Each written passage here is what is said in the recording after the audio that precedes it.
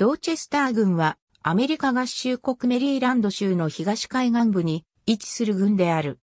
2010年国勢調査での人口は32,618人であり、2000年の3674人から6.3%増加した。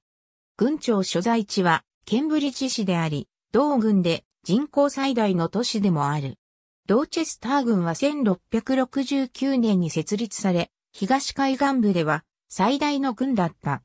北はチョップタンク川、北西はタルボット郡、北東はキャロライン郡、南東はワイカミコ郡、東はデラウェア州サセックス郡、西はチェサピーク湾に接している。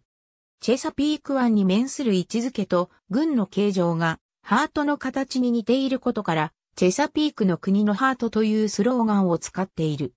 軍名は第4代ドーセット伯爵エドワード・サックビルにちなんで名付けられた。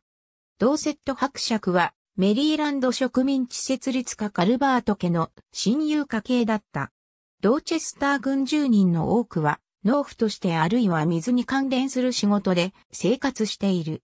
チェサピーク湾とその支流では、カニ、カキ、多種の魚など漁業とレクリエーション用釣りには豊富な水産資源がある。ドーチェスター郡からは奴隷を解放に導いた業績で知られるハリエット・タブマンが生まれた。ドーチェスター郡は自治権チャーター政府の形態をとり、軍政は5人の委員による軍政委員会が担当している。委員は軍内を5つに分けた選挙区から選ばれる。委員会の会合は毎週開催されている。議題と議事録は公式記録である。軍内の警察機能はドーチェスター郡保安官事務所、メリーランド州警察、メリーランド州自然資源警察が担当している。ドーチェスター郡保安官事務所が常設機関である。